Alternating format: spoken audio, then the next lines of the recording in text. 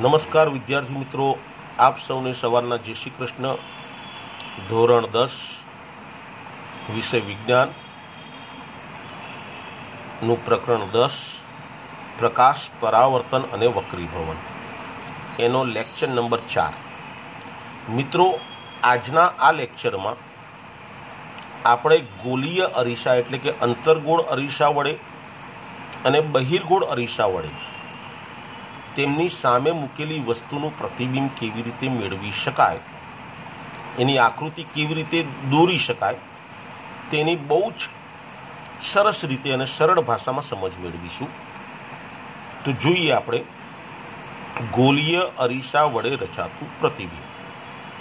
તો ગોલીય અરીસા વડે રચાતા વસ્તુના પ્રતિબિંબનું સ્થાન કિરણાકૃતિ દોરીને કિરણાકૃતિ એટલે કિરણ આકૃતિ. દોરીને નક્કી કરી શકાય છે. આ માટે વસ્તુના કોઈ એક બિંદુ પરથી, યાદ રાખજો મિત્રો, કે આકૃતિ દોરવા માટે તમે શું ધ્યાન રાખવાનું છે? તો કે વસ્તુના કોઈ એક બિંદુ પરથી નીકળતા કિરણો મોટી સંખ્યામાં લઈ શકાય. પરંતુ સ્પષ્ટ કિરણાકૃતિ દોરવા માટે માત્ર બે જ કિરણોનો ઉપયોગ પૂરતો છે. કારણ કે બિંદુવત વસ્તુના પ્રતિબિંબનું સ્થાન એ બે પરાવર્તિત કિરણોના છેદ બિંદુ દ્વારા પ્રાપ્ત થાય છે. એટલે આકૃતિ દોરવા માટે આપણે એક વસ્તુનો ખ્યાલ રાખીશું કે જ્યારે તમે અંતર્ગોળ અરીસા કે બહિર્ગોળ અરીસાની સામે વસ્તુ મૂકો, ત્યારે વસ્તુ પરના એક બિંદુમાંથી તમારે માત્ર ને માત્ર બે જ કિરણોને અરીસા પર આપાત કરવાના છે. અને એ બે કિરણો અરીસા પરથી પરાવર્તન પામી. જે બિંદુમાં છેદે, તે બિંદુ પર તમને પ્રતિબિંબ પ્રાપ્ત થાય. પ્રતિબિંબ મેળવવા માટે આપણે જે બે કિરણોનો ઉપયોગ કરીશું, એ બે કિરણો કેવા હશે? તો પ્રતિબિંબ મેળવવા માટે નીચેના ચાર પૈકી કોઈ પણ બે કિરણોનો ઉપયોગ કરી શકાય. બરાબર? અહીંયા આપણે તમને ચાર કિરણો દર્શાવીએ છીએ. તે ચારમાંથી તમારે બે કિરણોનો ઉપયોગ કરીને આકૃતિ દોરવાની રહેશે. તે ચાર કિરણો કેવા? એમની શરતો શું છે? એને સમજી લેજો મિત્રો, બહુ અગત્યનો મુદ્દો છે આ. કેમ કે આ મુદ્દો સમજાઈ જશે તો તમે આકૃતિઓ સરળતાથી દોરી શકશો. નંબર એક, પહેલું કિરણ. મુખ્ય અક્ષને સમાંતર કિરણ. અહીંયા આકૃતિ જોતા જજો મિત્રો કે આ અંતર્ગળ અરીસો છે, આ બહિર્ગોળ અરીસો. આ મુખ્ય અક્ષ છે. બરાબર? તો પહેલું કિરણ મુખ્ય અક્ષની સમાંતર દિશામાં આપાત થતું કિરણ.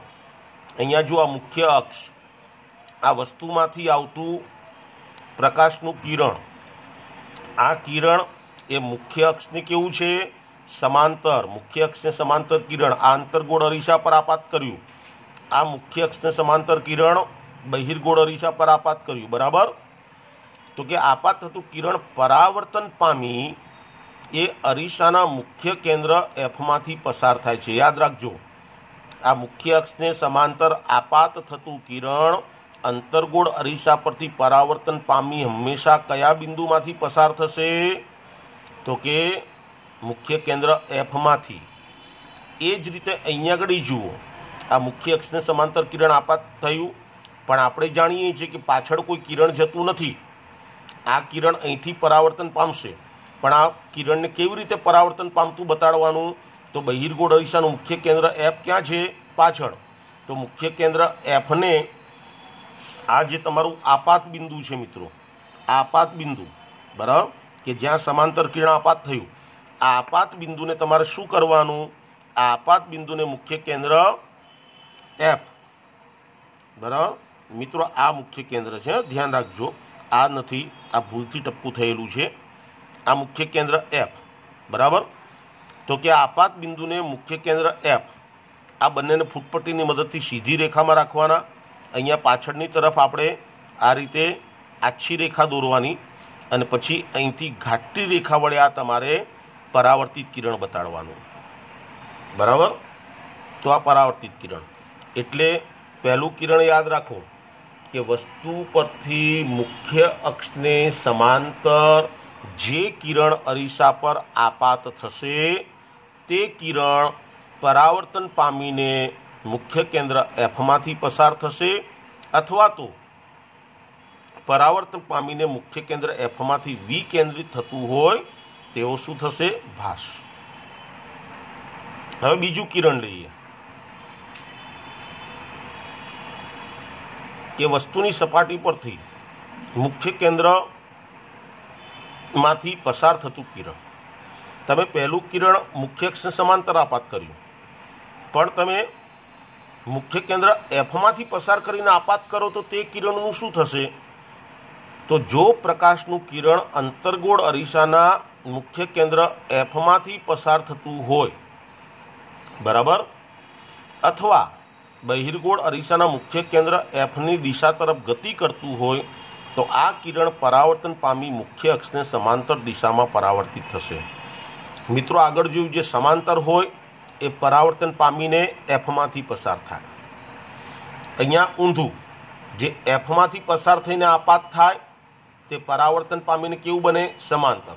સમાંતર તો એફમાંથી પરાવર્તન એફમાંથી આપાત થશે તો પરાવર્તન પામીને સમાંતર. અહીંયા જુઓ, આ વસ્તુ પરથી આવતું કિરણ મુખ્ય કેન્દ્ર એફમાંથી પસાર થઈને આપાત થાય છે. તો પરાવર્તન પામીને શું થશે? સમાંતર બનશે. અહીંયા આપણે જોઈએ, આ વસ્તુ પરથી આવતું કિરણ, આ આપાત કિરણ છે. મિત્રો, યાદ રાખજો આપાત કિરણ છે. જે અરીસા તરફ આવે છે. પણ આ કિરણ કેવી રીતે આપણે આપાત થતું બતાડ્યું છે જાણે એફમાંથી પસાર થાય છે. બરાબર? મુખ્ય કેન્દ્ર એફની દિશામાં આપાત થતું કિરણ. તો અહીંયા આપાત થયું. તો આ પરાવર્તન પામીને કેવું બને? સમાંતર. હવે ત્રીજું કિરણ. આપણે વક્રતા કેન્દ્ર સીમાથી પસાર કરીને આપાત કરીશું. તો અંતર્ગોળ અરીસાના વક્રતા કેન્દ્ર સીમાથી પસાર થતું અથવા બહિર્ગોળ અરીસાના વક્રતા કેન્દ્ર સીની દિશા તરફ ગતિ કરતું પ્રકાશનું કિરણ. એ અરીસા પરથી પરાવર્તન પામી તે જ પથ પર પાછું ફરે. મિત્રો, યાદ રાખજો, આ અંતર્ગોળ અરીસાના વક્રતા કેન્દ્ર સીમાથી પસાર થઈને અરીસા પર આપાત થતું કિરણ. તો જે કિરણ વક્રતા કેન્દ્ર સીમાથી પસાર થઈને આપાત થાય, તે કિરણ તે જ માર્ગે પરાવર્તન પામે, તો આપાત કિરણ એ જ પરાવર્તિત કિરણ બનશે. કારણ શું એનું?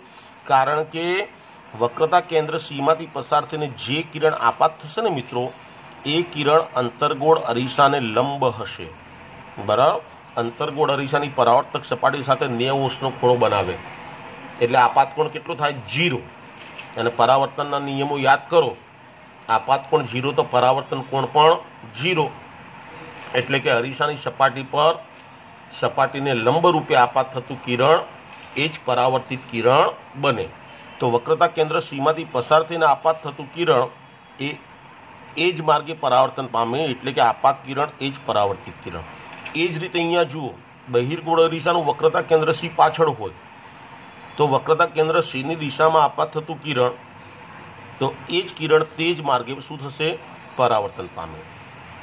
અને હવે આપણે ચોથું કિરણ લઈએ. અરીસાના મુખ્ય અક્ષ સાથે નિશ્ચિત કોણ બનાવી ધ્રુવ પી પર આપાત થતું કિરણ. આ મુખ્ય અક્ષ છે અને આ ધ્રુવ છે.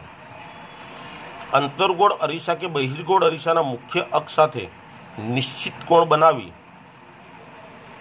દિશામાં ધ્રુવ પી પર આપાત થતું કિરણ મુખ્ય અક્ષ સાથે તેટલો જ નિશ્ચિત કોણ બનાવી પરાવર્તન પામે. કેમ કે આપાત કોણ અને પરાવર્તન કોણ કેવા હોય? સરખા. મિત્રો, ધ્યાન રાખવા મુખ્ય અક્ષ, આપાત કિરણ. તો આપાત કિરણ અને મુખ્ય અક્ષ, આ બંને વચ્ચેનો આ ખૂણો એ શું કહેવાય? આપાત કોણ. તો આપાત કોણ જેટલો હોય એટલો શું થાય? પરાવર્તન કોણ. તો તમે અહીંયા જેટલો ખૂણો બનાવીને કિરણને આપાત કર્યું, એટલો જ ખૂણો બનાવીને તમારે કિરણનું પરાવર્તન થતું બતાડવાનું. એ જ રીતે અહીંયા, આ આપાત કિરણ, આ મુખ્ય અક્ષ. તો આપાત કોણ? તો અહીંયા આ જે ખૂણો રચાયો, એટલો જ ખૂણો તમારે અહીંયા બનાવીને કિરણનું પરાવર્તન થતું બતાડવાનું. તો આમ મિત્રો આપણે ચાર કિરણો જોયા. પહેલું કિરણ, જે મુખ્ય અક્ષને સમાંતર આપાત થશે, તેનું પરાવર્તન શેમાંથી થશે? મુખ્ય કેન્દ્ર એફમાંથી બીજું કિરણ જે મુખ્ય કેન્દ્ર એફમાંથી પસાર થઈને આપાત થશે, તે પરાવર્તન પામીને કેવું બનશે? સમાંતર. ત્રીજું કિરણ, વક્રતા કેન્દ્ર સીમાંથી પસાર થઈને જે કિરણ આપાત થશે, તે કિરણ તે જ માર્ગે પાછું ફરશે. અને ચોથું કિરણ આપણે જોયું કે ધ્રુવ પી સાથે, બરાબર? ધ્રુવ પી પર મુખ્ય અક્ષ સાથે ચોક્કસ ખૂણો બનાવીને આપાત થતું કિરણ એટલા જ ખૂણા સાથે તે પરાવર્તન પામશે.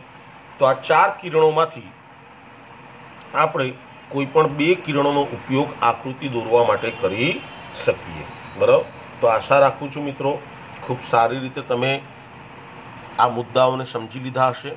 હવે પછીના નેક્સ્ટ લેક્ચરમાં આપણે અંતર્ગોળ અરીસાની સામે અને બહિર્ગોળ અરીસાની સામે જુદા જુદા સ્થાને મૂકેલી વસ્તુઓના પ્રતિબિંબ ક્યાં અને કેવા પ્રકારના મળે તેની આપણે સમજ મેળવીશું. ત્યાં સુધી આ નોંધને તમારા ક્લાસ વર્કના ચોપડામાં લખીને તૈયાર કરી રાખજો. અસ્તુ, જય શ્રી કૃષ્ણ.